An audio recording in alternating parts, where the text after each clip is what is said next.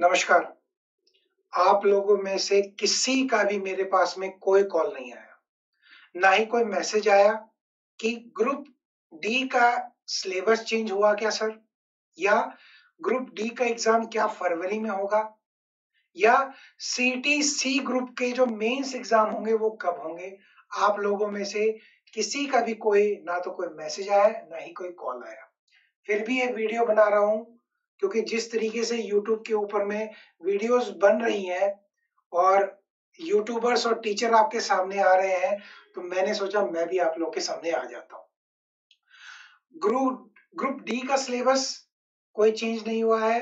ये सिर्फ़ थंबनेल्स ऐसे बनाए जाते हैं ताकि लोग गुमराह हो जाएँ और आप लोग उस वीडियोस को देखें तो इस तरीके का कोई भी सिलेबस चेंज नहीं हुआ है। सिर्फ़ थंबनेल्स के ऊपर में ऐसा दिखाया गया है। साथ ही साथ में जो आपका ग्रुप डी का जो एग्ज़ाम होगा, वो आपका अप्रैल एंड में या मई में हो सकता है। उससे पहले कोई भी चांसेस नहीं है, क्योंकि लाखों लोग उसका पेपर देंगे और सेंटर्स को एक साथ में हैंडल करना बोर्ड के एग्ज़ाम्स के बीच में पॉसिबल नहीं होता है। ठीक है? और आपके जो ग्रुप सी के जो मेन एग्ज़ाम्स होंगे, वो मार्च के बाद में हो जाएँगे, क्योंकि बहुत चुनिंदा लोगों को बुलाया जाएगा तो एक जगह पे पंचकुला के अंदर में कहीं भी उसका एग्ज़ाम हो सकता है, कोई बड़ी बात नहीं हो। साथ के साथ में मैं आपको बता दूँ कि जो आपका ग्रुप डी का जो एग्ज़ाम होगा, उसके अंदर में पंद्रह मार्क्स की जो मैथ्स है रीजनिंग है इंग्लिश है और हिंदी है, जिसके कारण आपका सी ग्रुप के अंदर में आपका स्कोर कम आया, उसके लिए हम लोग प्रैक्टिस सीट्स लेके आ रहे हैं आप लोग के लिए। दस जनवरी से आपकी प्रैक्टिस सीट्स आपको मिलेंगी। प्रैक्टिस सीट्स सारी फ्री हैं। प्रैक्टिस सीट्स सारी फ्री हैं, उसका कोई भी चार्ज नहीं है। सिर्फ़ चार्ज उसी का लिया जाएगा, अगर आप उनके वीडियोस देखना चाहते हो या ऑनलाइन मॉक्स देना चाहते हो तो ही आपको चार्ज देना पड़ेगा। नहीं तो जो स्टूडेंट पेड में कंटेंट पढ़ेगा, वो सारा का सारा कंटेंट आप लोग को फ्री में मिलेगा। और जो कंटेंट आपको दिया जाएगा वो पूरा बेस्ड है एनटीए के, जो प्रीवियस ईयर क्वेश्चंस के ऊपर में बेस्ड है। जो भी क्वेश्चंस है, सारे प्रीवियस ईयर क्वेश्चंस है, बाकी और भी कोई क्वेश्चन हम लोग इसके अंदर में नहीं डालेंगे। दूसरी चीज़, एक भी क्वेश्चन रिपीट नहीं होगा। चाहे मैथ्स हो, चाहे रीजनिंग हो, जिस तरीके से प्रीवियस ईयर में क्वेश्चंस पूछे गए हैं, उसी के हिसाब से आपको जो भी क्वेश्चन मिलेंगे, वो एक बार भी रिपीट नहीं होगा।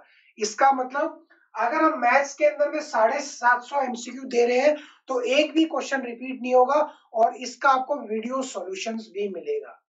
उससे फ़ायदा क्या होगा? उससे फ़ायदा ये होगा कि जो प्रीवियस ईयर में क्वेश्चन आए हुए वो आप अच्छी तरीके से समझ पाएँगे। हमने कोशिश यही की है कि चुनिंदा प्रश्न दे आपको। मैथ्स के अंदर पाँच हज़ार क्वेश्चन बन सकते हैं। तो क्या एग्ज़ाम से पहले सारे के सारे पाँच हज़ार क्वेश्चन की बार बार प्रैक्टिस करोगे? तो वो पॉसिबल नहीं है। इसके लिए हम लोग सिर्फ़ वही प्रश्न लेके आए हैं, जो बार बार रिपीटिव क्वेश्चन है और प्रीवियस ईयर के क्वेश्चन है। ठीक है? तो मैं आपको बता दूँ कि जो प्रैक्टिस सीट्स है फ्री ऑफ़ कॉस्ट मिलेंगी। अगर आप उनको अपने हिसाब से पढ़ना चाहते हो तो प्रैक्टिस सीट्स को डाउनलोड करना और अपने हिसाब से आप पढ़ लीजिएगा। आपको पेड लेने की ज़रूरत नहीं है। ठीक है? तो क्या क्या चीज़ आपको मिल रहा है? जनरल इंग्लिश की आपको 1500 एमसीक्यू की फ़ाइल मिलेगी। प्रैक्टिस सीट्स मिलेंगी जो कि फ्री है।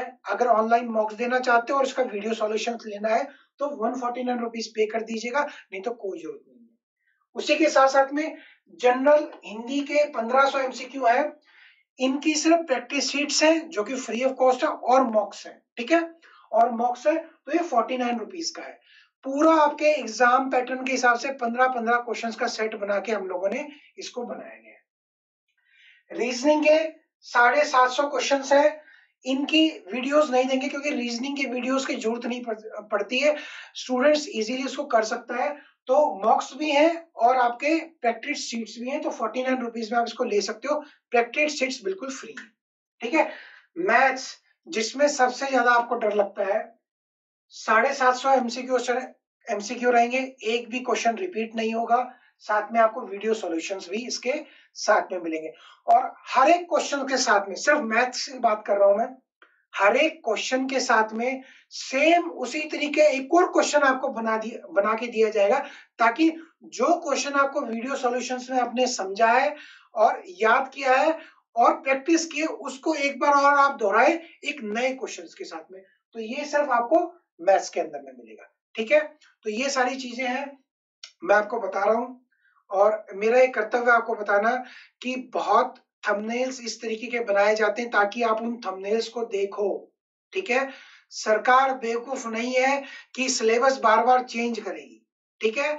और जो पैटर्न होगा, वो पैटर्न आपको आ जाएगा पहले से। जैसे पहले होता था, अब वैसा नहीं होगा। अब आगे वाले एग्ज़ाम में आपको बताया जाएगा तो टेंशन लेने की ज़रूरत नहीं है और इन वीडियो से थोड़ा सा दूर रहा करो, ठीक है? इसी के साथ में मैं इस सेशन को समाप्त करता हूँ। धन्यवाद।